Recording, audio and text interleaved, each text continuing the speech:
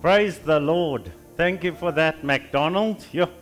MacDonald was a good student after we had sorted him out. Eh? so it's great to be with you all. All of you watching online, I hope you're not taking too many coffee breaks. Don't fall asleep because God is up to something. And I always say, some people say, God's doing nothing. I'll say, no, the problem is you where nothing is happening. So you get where God is doing things, where God is moving, and things are happening, and God is alive and well and doing things on planet Earth. Amen. Hallelujah. Sure. So he's right here with us this morning, and he's going to do something. You know, something good is about to happen or is happening. Do you, do you agree with me? You guys online, you know, please connect with us. Make sure you say amen to this. And if you disagree, say so, so I can call you afterwards and sort you out, okay? because we need to get agreement because the Bible says where two or more agree, that's where God is in the midst of the whole situation. So I'm going to be speaking a little bit about faith on fire, okay? So now I'm going to get excited. I just know that because I get excited, you know. I remember, or if you're watching the Springbok soccer team playing, or the, the rugby team playing, or the whatever you're watching, you know, and you, you support somebody, isn't it? Even when you watch Wimbledon, somehow when you watch, doesn't matter who you're watching, the women's or the men's, you kind of get captured by one of the players and you support them. And then, aren't you so excited when they win? Oh, you walk around with a smile. You go and you even get in your car and go and buy coffee, and you're so happy you're walking around. Hey, how's it? How's it? And all your friends say, Why are you so happy? Well, your team won, or your somebody. So you're in the winning team, and you're so excited about that. I used to get excited when I played sport and I scored a goal or something. I'd do a somersault and a flick flack on the field. Yeah, I could do that. Could still now, you know but the microphone hinders me. You know? so I have to keep calm. But you get so excited about some things. But when it comes to the Lord, then you get all subdued. You get all mellow. And you get all funeral like. Like, what's the problem?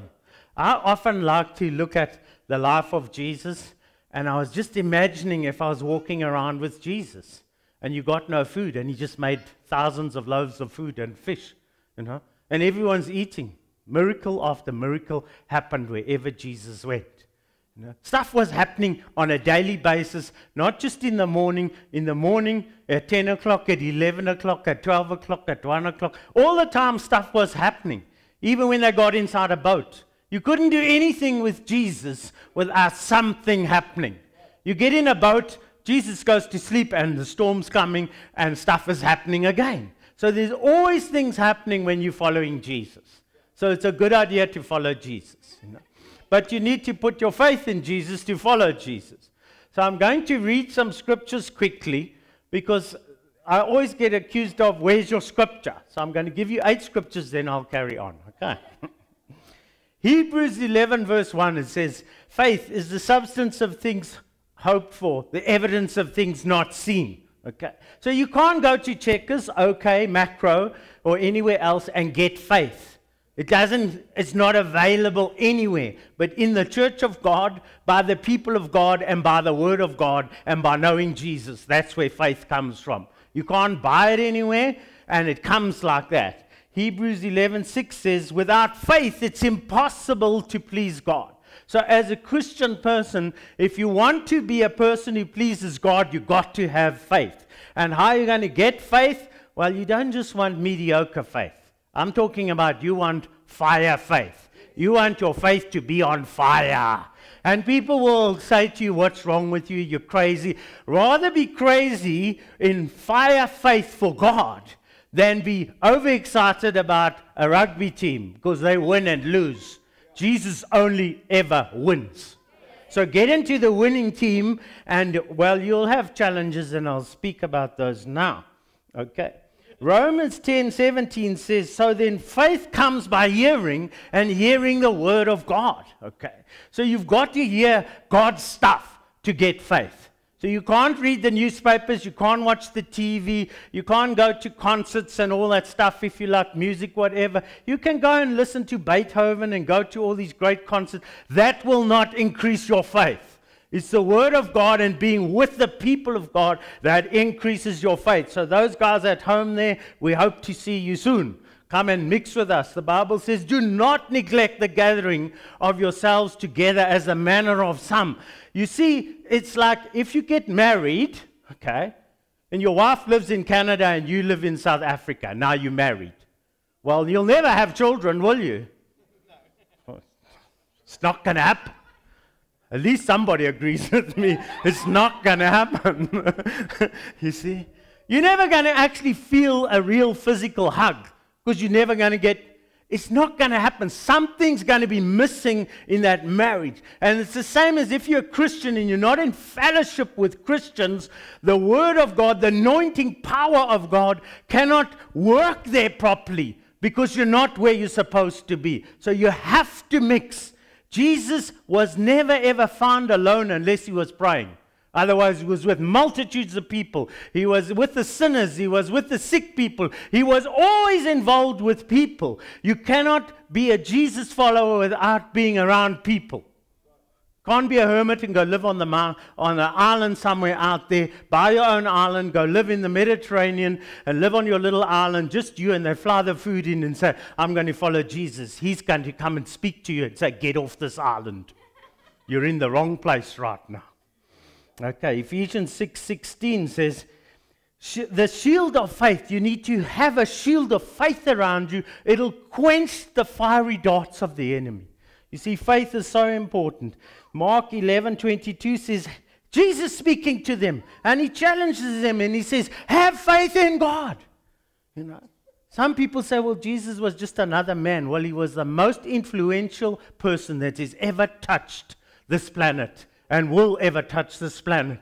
So, and if he said, have faith in God, I think everybody needs to wake up and listen to the one who knew and the one who said, have faith in God. So, never be embarrassed of serving and following Jesus Christ because that's the best thing. That's what we are created to do. That's how you fulfill your life. First step is have faith in God. You.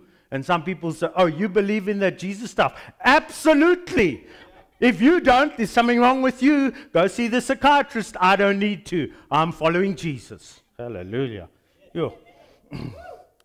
Matthew, uh, Matthew chapter 8, verse 10. Even Jesus, when some, the centurion came to him, he commented and he said, I have not found somebody with so great a faith in all the land of Israel. I hope you and I, and those of you online watching, you're going to say, I want to be like that guy. I want God to look down and say, I have not found faith, so much faith like that one. Is he going to say that about you? Right. I'm talking about faith on fire. Now, I'm going to use the analogy of fire here to just show you something. And the Holy Spirit, I've already prayed lots the whole week about this message. And I'm saying, Lord, help your people because there's something that will stop the fire. And there's something that will let the fire go cuckoo, for want of a better word. It'll blaze like crazy. You know, and you don't want to be those that you, you got faith, but you got no fire. Your faith is not on fire. Why not? As I'm speaking now, I'm going to tell you a few things. And the Holy Spirit's going to show you, some of you, He's going to show you right now. Some of you online, He's going to show you, He's going to say, that you need to deal with. It's killing your faith.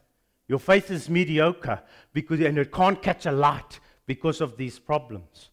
Now, you see, when you have a look at a fire, what stops a fire from burning? What stops you from having a fire? Well, no oxygen. I'll tell you a story. When I worked in the United Kingdom, the one day I decided I'm going to have a braai. You know? Well, I have no equipment. It's fine. I'll get the rocks. So I went into the back garden and I put the rocks there and I got the, the newspaper and, and I broke the little sticks. And I, uh, I've made hundreds of fires in Africa. It's easy. You make a fire on the. F- you got to be careful in Africa. You, you know? Oh, should I tell you this story? When I was 12 or 13 years old, My friend and I we were sitting in the drain. I won't tell you where in case they're still looking for me. You know? and and we, we decided to make a little fire. And by mistake, the fire touched the grass. And before we knew it, the whole world was on fire. The fire engines were coming. I was famous in the local newspapers for setting the whole place on fire. They just didn't know who did it, and I wasn't telling. And my friend and I, we were petrified. We said, You tell, I'll kill you. You tell, I'll kill you too. and it was in the newspaper. Some people, even, I think, we, we kept the piece of that newspaper, but somehow it got lost, you know. Some vandals set this place on fire, you know.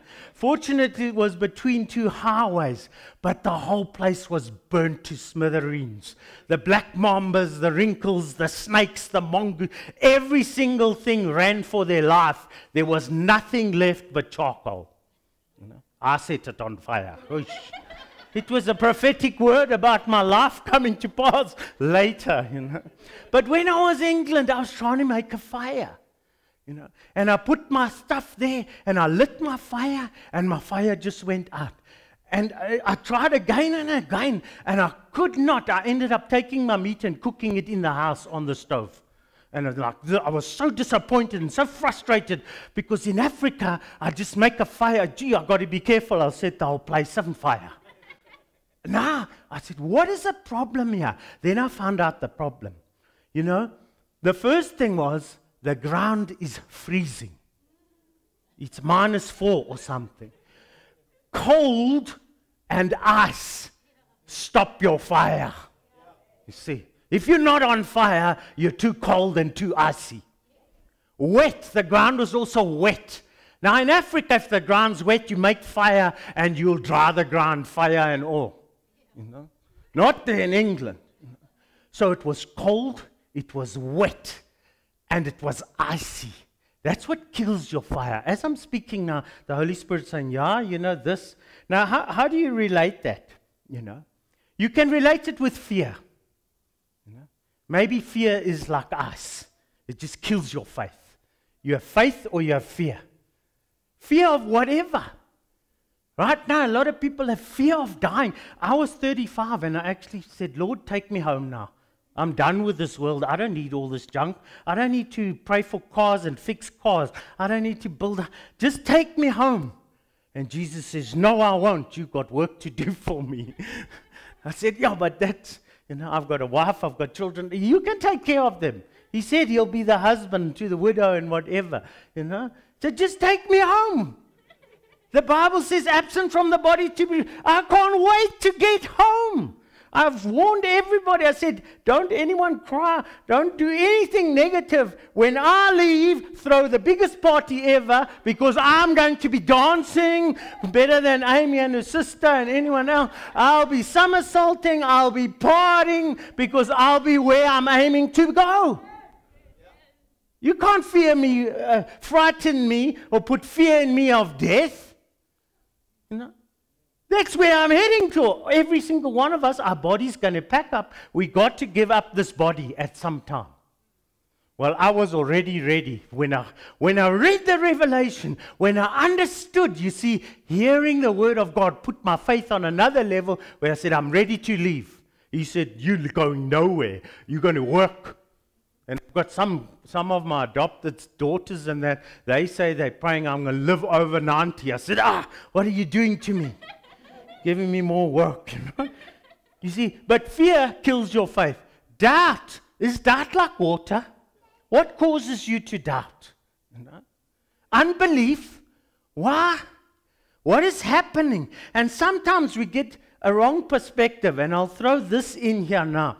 Have you ever prayed for somebody and they didn't get healed? Why should that bother your faith in God? You're not God, I'm not God. I can't heal anybody. I can believe He will heal, but I can't heal. So I believe, I personally believe God can heal anyone of anything, anytime. When He doesn't, it's not my problem. It doesn't affect my faith in Him. Oh, yes, it's very, very exciting. I've witnessed somebody that's dead come alive. I've witnessed unbelievable miracles of healing before my very eyes. I've seen people, oh, do you want to see a miracle? Well, who are you praying for? You see, you'll never see someone healed if you never pray for someone who's sick. And you'll never pray for someone who's sick if your faith is flat. Because you think, what happens if I pray for them and nothing happens? Nothing happens. That's what happens.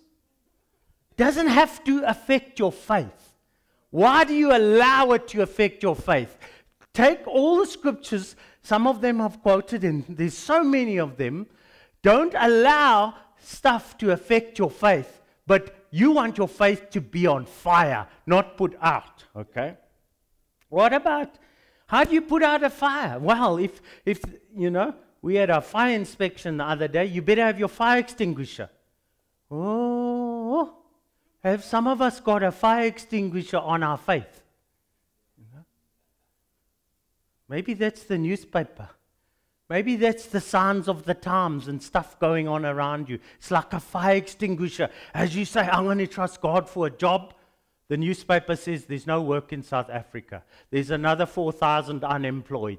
The economy's going down. Listen, I have just helped place a young white male boy in a new job that when he came to me, he said, Look, I don't know if I'll ever get a job. I'm the wrong color in the wrong country and nobody's got work. Well, he just got a job. Because I believe, you see. You need work. Come and see me and let's believe together because the Bible says where two or more agree. But don't come to me and say, please pray for me. But you, you are so full of doubt and unbelief. You're like an ice block. And now you're going to believe it's not going to work too well for you. But God can give you jobs in the midst of no jobs available. That's the God that I know.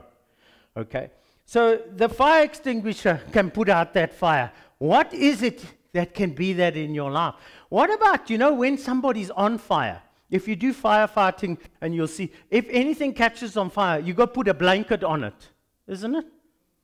Pastor Joseph said, you, oxygen, no oxygen, no fire. So how do you stop the oxygen? You, you smother it. Is something smothering you? you see? Is there unforgiveness? Is there something smothering the fire? One of the greatest smotherers and killers of our faith is sin.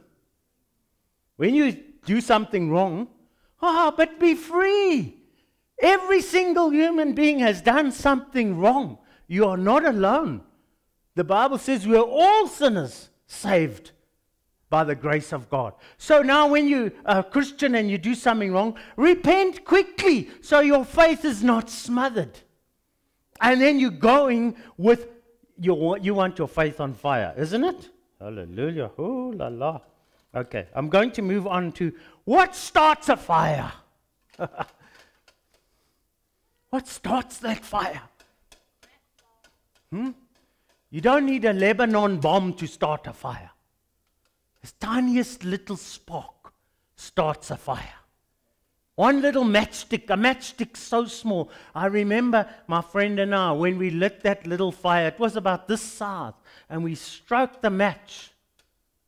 Boy, you should have seen that fire. It was 100, maybe 100 meters in the air. The whole place, everybody knew there was a big fire in that town. you could see it from miles around. But what started it? It started small. Right now, maybe you online, maybe you are saying, I want that fire. Well, I'm telling you, we're going to, when I close in prayer, if you don't have fire and you want fire, your fire is going to be sparked. Some people are nodding with me. I hope you're ready for it. Eh? Right? What starts that fire? What keeps the fire going? You know, you be careful with fire. Now, faith fire is awesome. When I was a little guy, also around 12, you, you must say, you, I must have been a hectic kid, eh?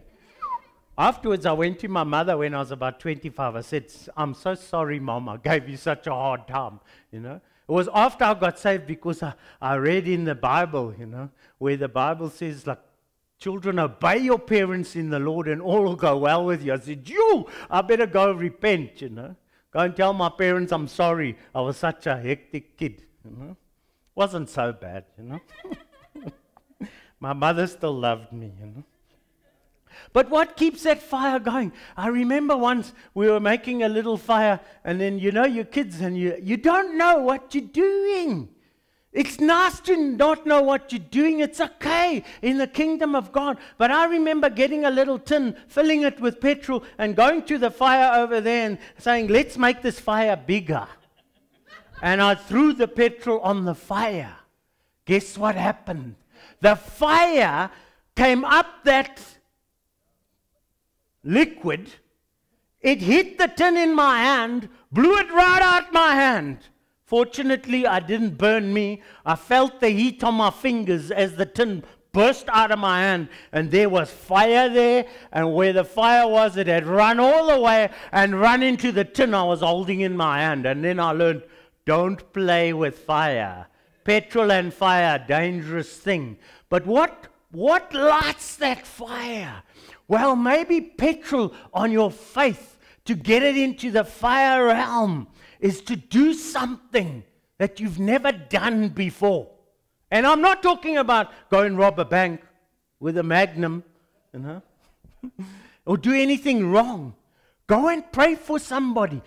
Just the other day, I took my vehicle in for a service. I, I, I love opportunities. Sometimes it's frustrating. Do what God has called you to do. The Bible says you are fearfully and wonderfully made. Do you know that nobody on planet Earth is going to get saved unless Christians tell them?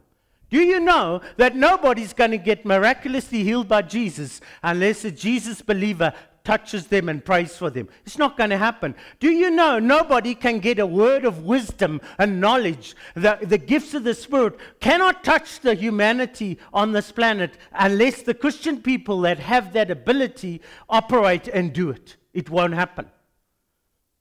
No, you should be excited. Should say, just stop right there. I'm getting out of here. I've got stuff to do. But as I take my vehicle to the service, the man there, he says to me, oh, no, I'm in pain. And I said, okay, you're in pain. Do you believe in Jesus? That's what I said. I, I, I didn't know what he would say. He said, yes. I said, great. I put my hand on his shoulder. Sorry, COVID rules, you know. But Jesus rules. the, Bible, the Bible says, let the anointed lay hands on the sick and they shall recover. You can't lay hands if it's against the law. Well, God's law says I must lay hands. So I laid hands on the man and I prayed for him. I'm, I'm at a service center, you know. You don't do that. We're supposed to do that. No, church is where you are. You are the church. Wherever you are, doesn't matter if you're in the supermarket, whether you're shopping, wherever you are, the church is there. Jesus is there with you. Take the opportunity. Don't let it go past. I want to encourage you. You don't know what can happen. I remember in my life, I've, I've done craziest things. I prayed for a businessman one, once. His wife said to me, Please pray for my husband. She's not saved. I said, Where does he, where's his room? I went and lay on his bed. I said, Just make sure you're not at home so he doesn't think there's something fishy going on, yeah? You know? And I lay on his bed where he slept. And I prayed that God would take him into the kingdom and use his resources for the kingdom of God. And I, I just won't tell you the name of the person, but they brought the ministry into South Africa. They got radically saved. But I prayed, I believed. Do you understand what I'm saying? I believed. I cannot do it, God can do it. I actually went off, I was working in the United Kingdom. Five years later, one of my pastor's friends phoned me up and he said, Do you know something? I said, What? What are you talking about? He said, oh, Come and see me. I want to tell you something. And he told me that guy got saved. And he brought a massive ministry into South Africa, Christian ministry, and he's using his resources for the kingdom of God. You see, God can do it. But I could have also said, oh, well, I'm nobody. You know? With, without Jesus, I'm nobody. With Jesus, I'm somebody. With Jesus, you're somebody. And Jesus is no respecter of persons. He's not going to use me because of my good looks and my long hair. You see? And sometimes we think it's all about what, uh, what gifting we have, what degrees we have, how smart we have, what we look like, or whatever. It's got nothing to do with that. It's your availability and your obedience to the Word of God that brings the results in your life. Now, what puts that petrol when you operate in faith? And I'm sharing you testimonies. I've got so many testimonies. I think I could stand on a platform and share testimonies for maybe a month. And I will have to sleep in between because I'll get exhausted. Because I've got thousands of testimonies. That's no exaggeration. Thousands of testimonies. And I continually say, I do not want to live in the testimonies. I don't want to come here and tell you something that happened 10 years ago, 20 years ago. I want, I'm believing God for a testimony today. I'm believing God for a testimony on Monday. This week, I'm believing God's stuff is going to happen. What? So maybe provision, maybe jobs, maybe healing, maybe a word. You know, it's, it's an interesting thing as you serve God, as you say, Jesus, have my life. Sometimes, once I was driving my car and I'm in a hurry. Have you ever been in a hurry? You know, I've got things to do, I've got places to go. I'm in a hurry. So I stopped at this one uh, garage and I run into the bathroom. I'm in a hurry. I park, I jump out. I just need the bathroom. So I run in. And as I'm running in, the Holy Spirit says, Speak to that couple over there. I say, No, I don't have time. You see? And I nearly missed it. And as I'm coming back to, you know, the whole conversation starts where Jesus says, Did you give me my life? I said, Of course you know I did. You know? Are you going to serve me or are you going to listen to me or listen? You know I will listen to you, Lord. He says, Go speak to that couple. I don't have time. I'm in a hurry. Don't you understand? Jesus, don't you understand? I'm in a hurry. He says, Go speak to that couple. And he gives me a word for them. You know? And I don't do that. I'm not like Pastor Joseph. I don't do that. That's not what I do. But at that moment, Jesus says, Do this. So I did it. Wow. It was phenomenal. It's one of my testimonies. You see? I just, I said, I don't know what. I pulled a, a Moses on, on the Lord. I pulled everything I could on. I don't know what to say. I'm not very good at speaking. And this is very inappropriate. They're sitting down. I'm going to cause a riot in the place. You know, I made all the excuses. And the word came Will you obey me or do your own thing? I said, Ah, Lord. And reluctantly, with an attitude, I can actually say, even with a bad attitude, God can use you if you obey. You see? And with a bad attitude, I went and I spoke to them. I didn't know what to say. I said, uh, I felt like an idiot. I said, Excuse me, would you mind if I spoke to you? And they're like, you, uh, uh, like, can't you see we're eating? What do you want? Kind of, you know, like, this is stupid. You know? By the time I finished, they were both in tears. I was praying for them, and the Holy Ghost had moved all over the place. By the time I didn't walk on the pavement to my car, I was walking in the air. You see?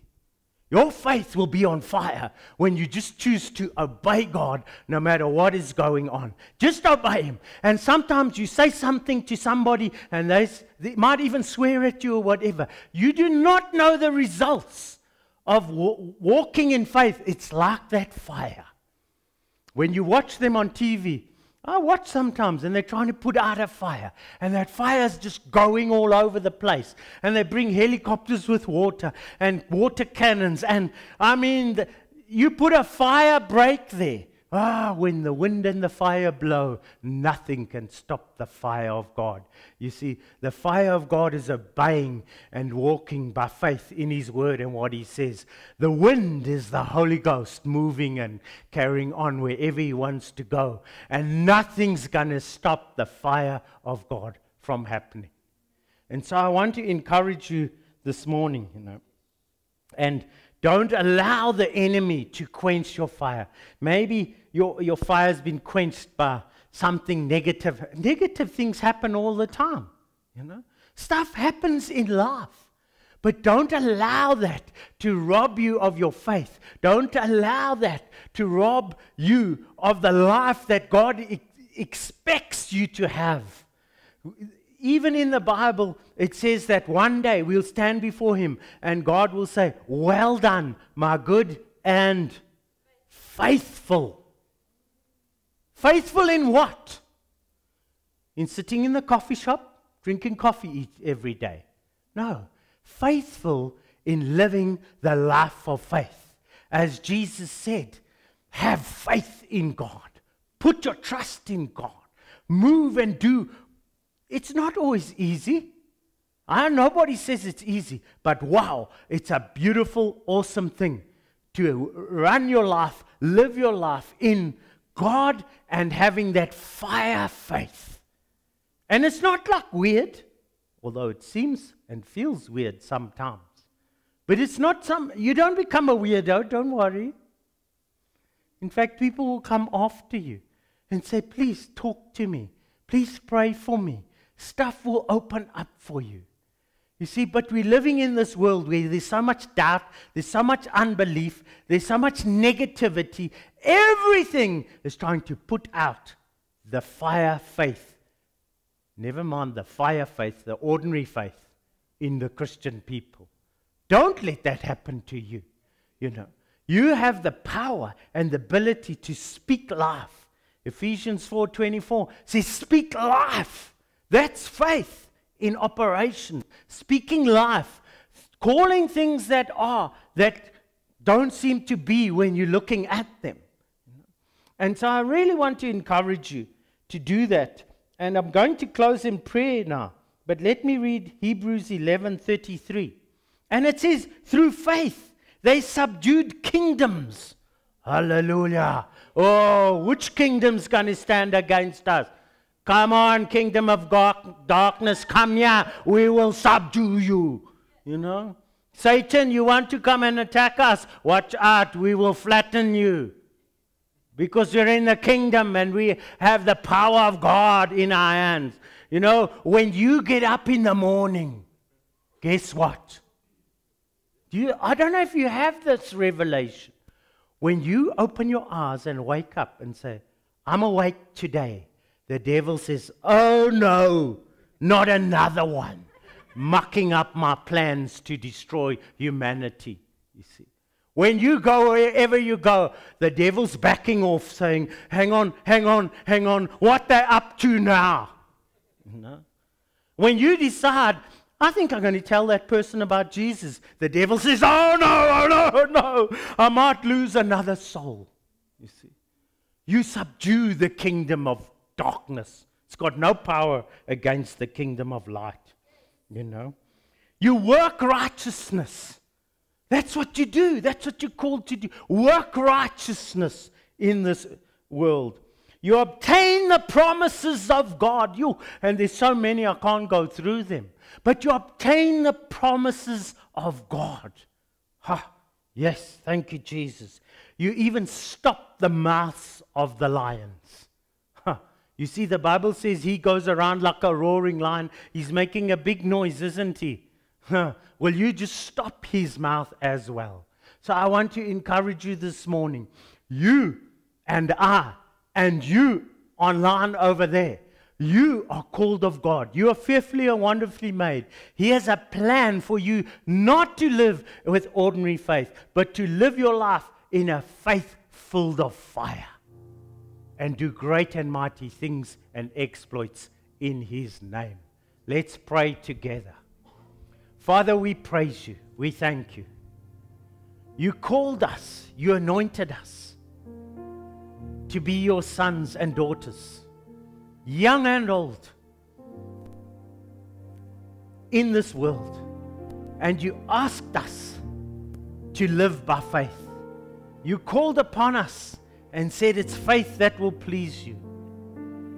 And so, Father, this morning, I pray that all those watching and listening online, all those in the auditorium today, from the youngest to the oldest, without exception, will, their faith will arise Holy Spirit, we invite you to prompt us, to challenge us, to rearrange us, and let us be, as your word says, the people of faith.